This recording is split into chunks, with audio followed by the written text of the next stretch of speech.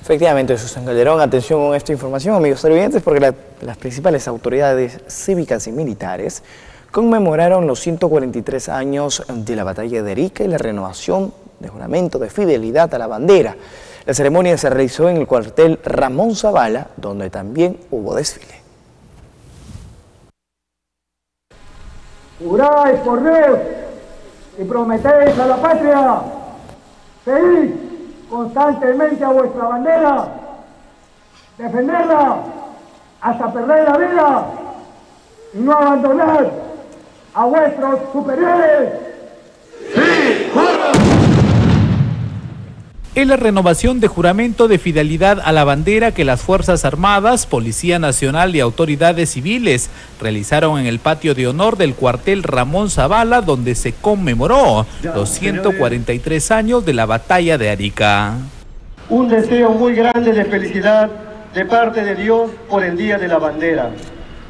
Que este día sea un día para alegrarnos, para gozar de que somos libres y que nuestros antepasados nos dieron este legado.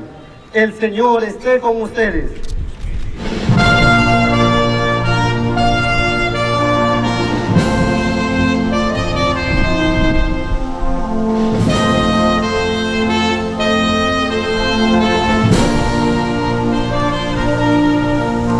Fue sobre su suelo rocoso donde la sangre de 1.400 hombres del ejército del Perú quedó regada y después de 143 años, su espíritu y su gloria permanece inamovible en esos campos de batalla.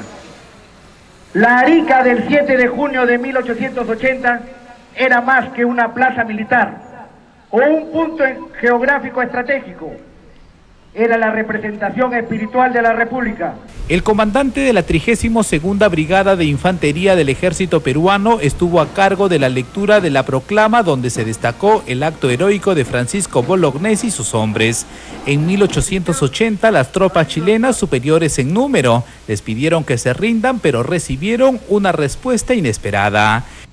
La mentalidad y el espíritu de los Bolognesi, de los Ugartes, de los Inclán, y también de esos muchachos cuyo nombre ha sido cubierto por el velo del olvido, en el alma de aquellas mujeres que siguiendo a sus esposos y a su bandera estuvieron en la cúpide para aguantar. En ninguna de aquellas cabezas hubo siquiera la mínima intención de desistir en su propósito de defender la tierra que vio nacer. Tengo deberes sagrados que cumplir y los cumpliré hasta quemar el último cartucho fue la frase que salió de la garganta del bravo coronel Francisco Bolognesi Cervantes. El general César Claudet dijo que en la actualidad los enemigos son otros, por eso las Fuerzas Armadas siempre deben estar atentas para defender al país.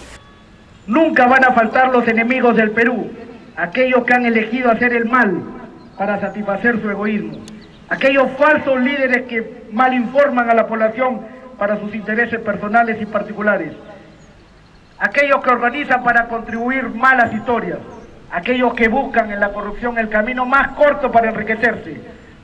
Frente a estos enemigos está el Perú, con sus valores, su cultura, su empuje y su garra.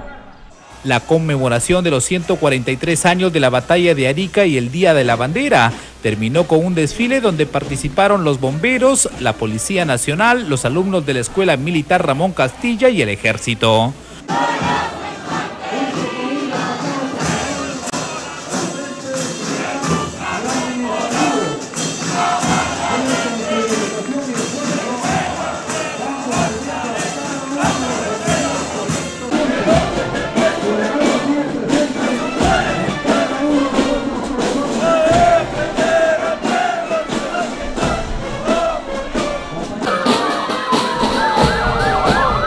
Los bomberos y el ejército incluso desfilaron con sus unidades móviles en el Día de la Bandera.